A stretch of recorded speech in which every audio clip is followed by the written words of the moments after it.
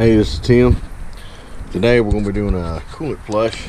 It is a 2012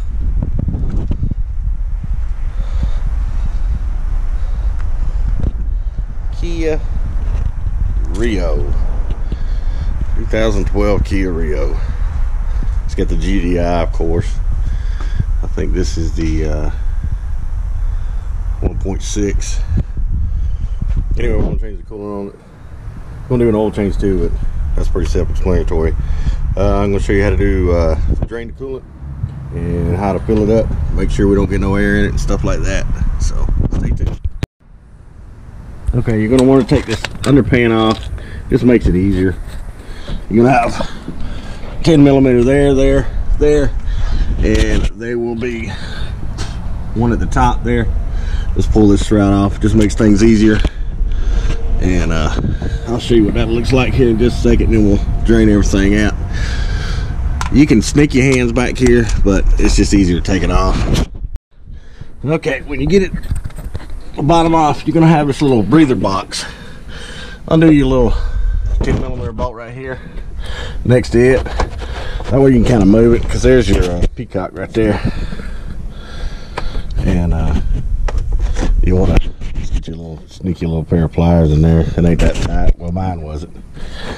I didn't drain it from there, but uh, you loosen, take that bolt out. You can loosen this up where you can get your hands about there without taking the whole thing off. See how much easier it is when you take this whole skirt off. You can also inspect the car too if you're doing uh, other things. It's just good to uh, have that. I'm gonna drain this. Let me get something draining. Okay, you're gonna drain it like this. This looks like it's got mostly water in it. Kind of move your hand out of here. Just take it like this. I'll do mine all the way just about. Try to get it started good. Okay, get all these buttoned up.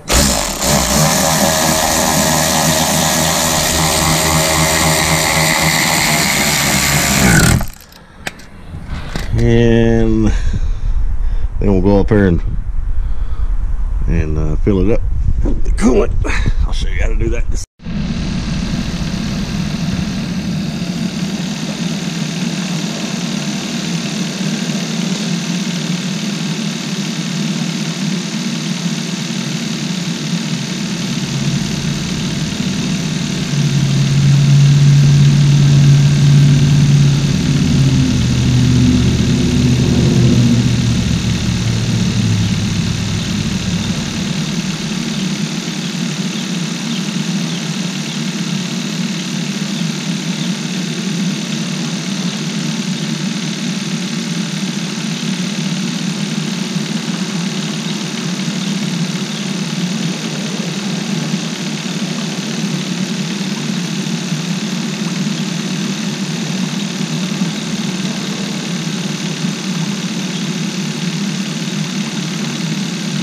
Take your top hose, squeeze it slowly so you don't see any more bubbles.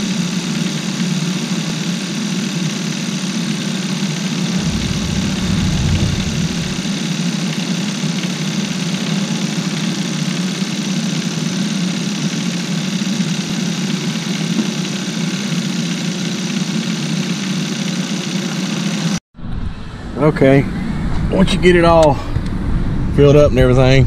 Make sure, of course, no leaks. Check your temperature.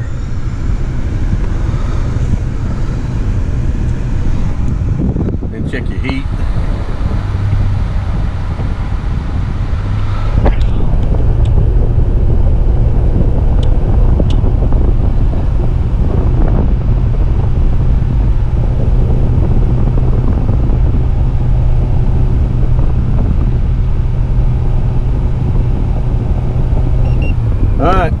Another one done at Tim's Auto.